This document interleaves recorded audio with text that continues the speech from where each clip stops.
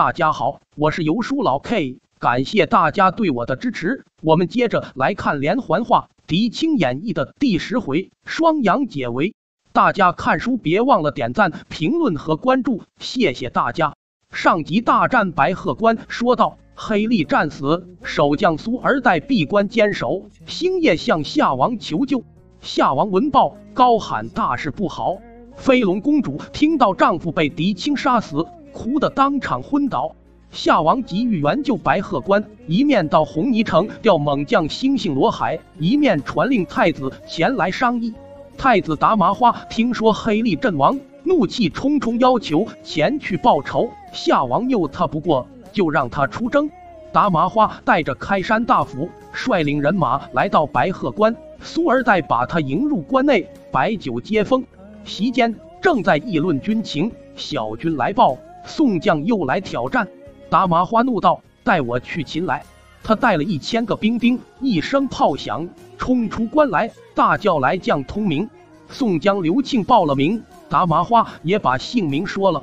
两人立刻使动兵器打了起来，战了三十余回。刘庆渐渐不知，刚要后退，给达麻花一把抓了过去，下兵驱势追杀。宋军大败，狄青又命石玉出阵，战了七十余合，也被活捉过去。宋营连折二员大将，狄青闷闷不乐。张忠、李毅一同上前请令出战。狄青道：“达麻花武艺高强，二位恐怕难敌，还是本帅亲自出马，见机而行较妥。”狄青吩咐张忠守营，李毅压阵。他顶盔穿甲，率领一万人马来到阵前。达麻花看见狄青出阵，暗想：若擒住狄青，功劳不小，便舞动大斧来战狄青。狄青与他战了八十余合，诈败而逃。达麻花不知是计，拍马赶来。狄青带起金漏鬼脸，勒马回转身来。达麻花顿时吓破了胆，立刻栽下马来。狄青举起金刀，山地砍为两段。李毅督令三军趁势抢关。众下兵四散逃命，李毅冲到城门口，一枪刺死苏儿岱。宋军占领了白鹤关，放出刘庆、石玉。捷报传到雄关，孙秀暗暗叫苦。他又使出诡计，一面扣住战报，一面拒发军饷。且说星星罗海带了十五万大军赶来，听到白鹤关失守，命全军火速前进。大军一到，就把白鹤关团团围住。猩猩罗海决心活捉五虎将，替太子报仇。猩猩罗海亲自把战书射上城关，叫狄青自负投降，免动干戈。狄青看过战书，道：“敌将十分无礼，哪位兄弟去会他一阵？”张忠道：“末将愿往。”狄青叮嘱张忠：“猩猩罗海不是寻常人物，需要小心。”张忠奉命就提刀上马出城。张忠到了阵前，与猩猩罗海战了二十余合，就觉不知，只得败下阵来。狄青又命石玉、刘庆出马，都给猩猩罗海杀得大败而回，伤了许多兵丁马匹。猩猩罗海在关前耀武扬威，要狄青出来较量，否则就要宋军退出西夏境界。狄青震怒，立即披挂上马，来到阵前，两下报了姓名，大战一百回合。不分胜负，一连大战三日，狄青不能取胜，就使出穿云箭。不料猩猩罗海也会法术，把箭挡了。狄青又把金漏鬼脸带上，也没有用。猩猩罗海只是举起狼牙棒，呼呼的打来。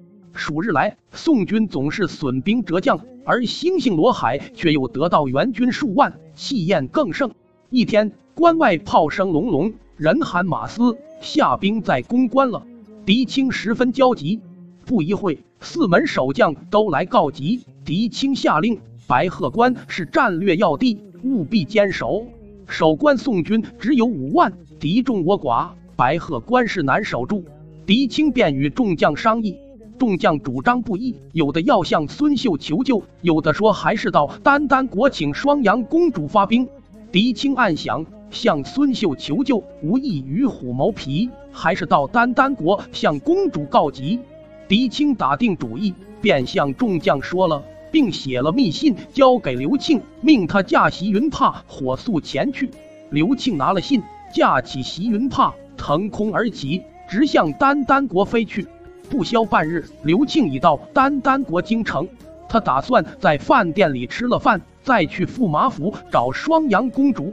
刘庆走出饭店，正好公主打猎回来，他就拦路相见，把狄青的亲笔信递给公主。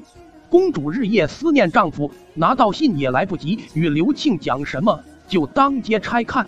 双阳公主看完信，不禁哀了声，吩咐女兵把刘庆送到驿馆。她立刻去见国王。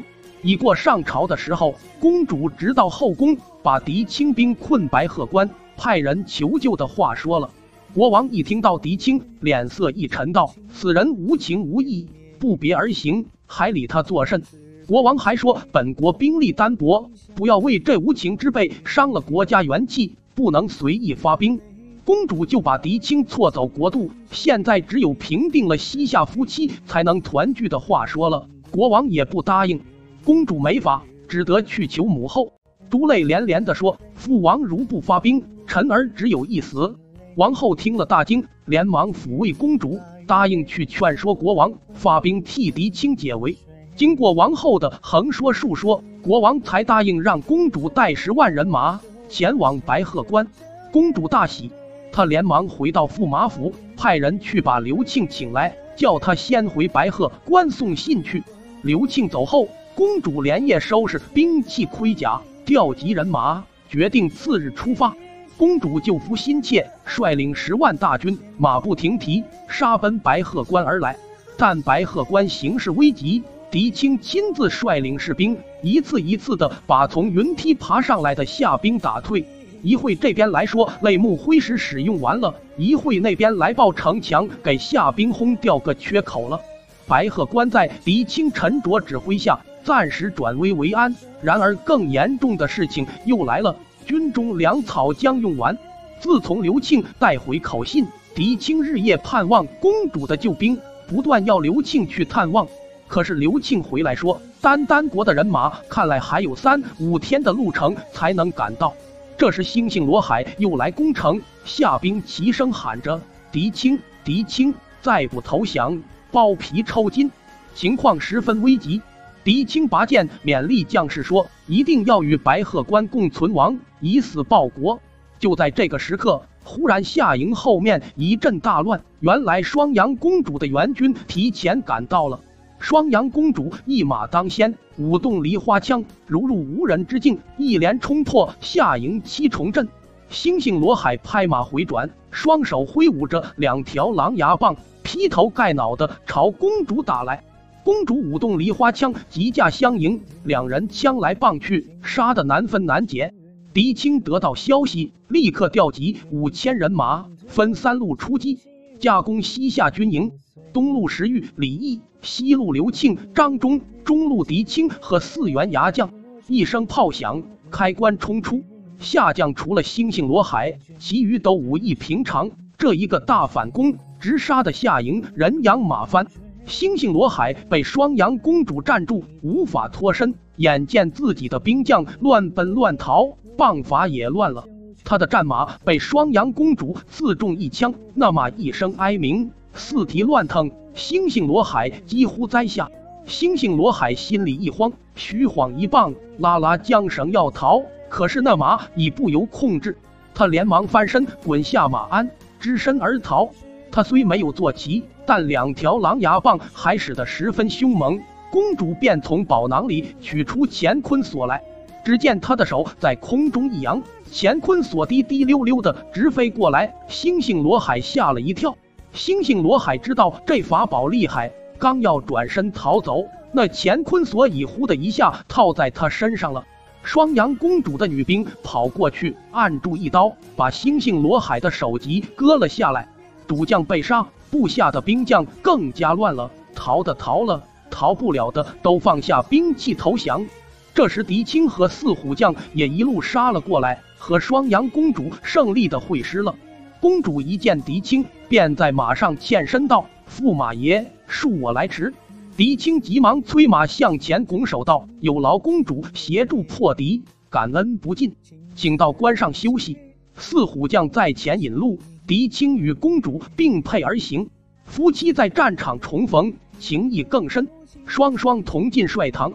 狄青说：“援军若迟来一日，大事去矣。”言下十分感激。公主道：“西夏只有猩猩罗海武艺高强，如今此人已除，可以乘胜进兵。”夫妻俩正在轻谈，忽然小兵来报，关外又有敌将蓝成虎收拾残兵前来挑战。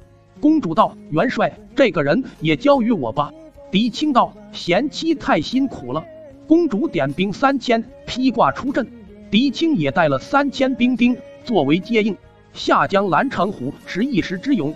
战不上二十回合，就给公主一枪刺倒，众下兵都被杀散。狄青飞马赶来，亲手接过公主的梨花枪，连连称赞她的枪法。当夜宋营大摆宴席，犒赏三军，庆祝胜利。次日，狄青下令进军碧霞关。欲知狄青如何取得珍珠烈火旗，请看下集。假旗求和。